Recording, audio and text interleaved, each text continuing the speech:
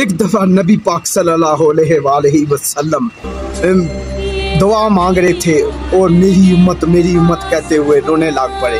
تو اللہ پاک نے دیکھا اور بولا، حضرت جبرائیل سے کہ اے جبرائیل، جاؤ اور میرے محبوب سے پوچھو کہ کیوں رو رہا ہے۔ حالانکہ میں جانتا ہوں کہ کیوں رو رہا ہے۔ تو حضرت جبرائیل، حضرت محمد صلی اللہ علیہ وآلہ وسلم کے پاس جاتے ہیں اور پوچھتے ہیں۔ تو سرکار دو عالم فرماتے ہیں کہ اے جبرائیل اللہ پاک جانتے ہیں کہ میں کیوں رو رہا ہوں۔ میں اپنی امت کی خاطر رو رہا ہوں۔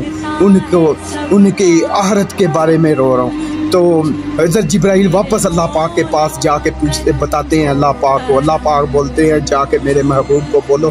جیسا آپ کہیں گے آپ کی امت کے بارے میں ویسے ہی قید دوں گا۔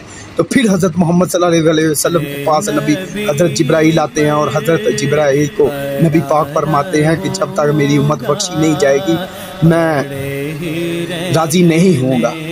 سبحان